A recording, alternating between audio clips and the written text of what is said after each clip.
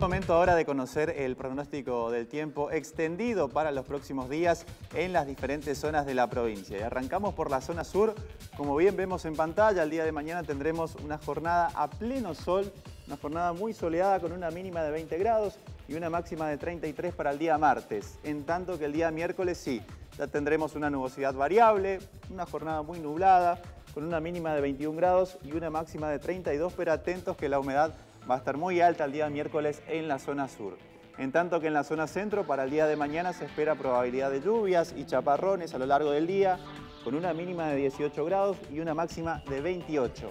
Mientras que para el día miércoles también en la zona centro, al igual que el día martes, se espera la probabilidad de alguna lluvia, algún chaparrón, con una mínima de 19 grados y una máxima de 28. Y pasamos ahora a la zona norte de la provincia, donde también, al igual que en la zona centro, para el día martes se esperan lluvias, algunos chaparrones, con una mínima de 22 grados y una máxima de 29, en tanto que el día miércoles sí continuarán el mal tiempo, las lluvias, la probabilidad de tormentas eléctricas también se suman, con una mínima de 22 grados y una máxima de 28 para la zona norte el día miércoles en la provincia de Misiones.